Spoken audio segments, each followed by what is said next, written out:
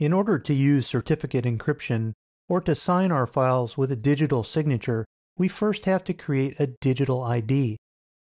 As we saw in the previous video on encrypting documents with certificates, we can create a digital ID on the fly as we're encrypting our document, or we can create it directly ahead of time.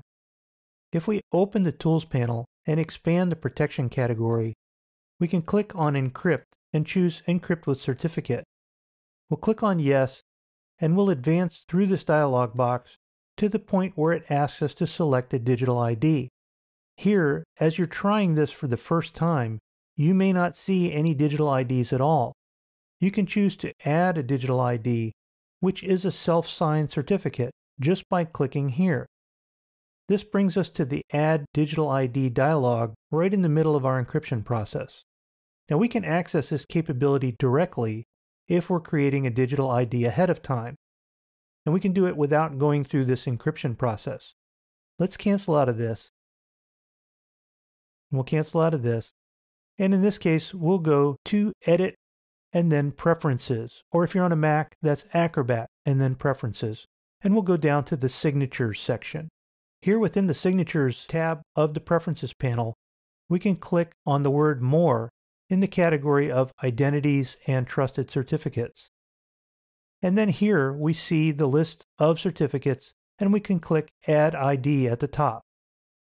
And when we do, this brings us to the same point that we were at a moment ago. Here in the Add Digital ID dialog box, we can choose to add an existing digital ID from a file, a server, or a connected device. Or we can choose to create a new digital ID, and that's what we'll do right now. We'll click Next, and this option is available on Windows only. Mac users won't see this step. Windows users will need to choose whether to store the digital ID in a file or in the Windows Certificate Store.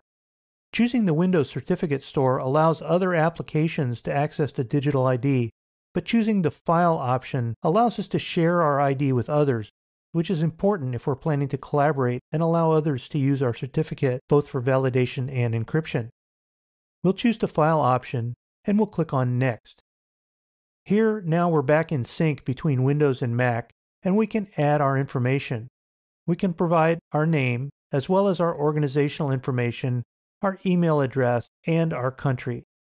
We'll add a fictitious name and a fictitious email address, and we'll leave the rest blank for now.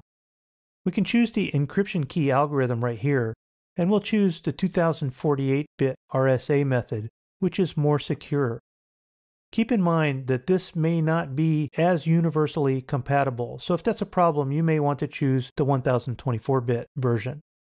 Finally, do we want to use this ID for signatures only, for encryption only, or for both? Remember, we can set up multiple IDs so that we have the option to designate a different purpose for each ID and even have a different encryption key setting for compatibility with different identifications. We'll use this for both and click on Next. And now we'll have the opportunity to choose the file location. I strongly recommend leaving this alone and accepting the default. To complete the process, we need to provide a password, and this password will be provided whenever we're using this digital ID.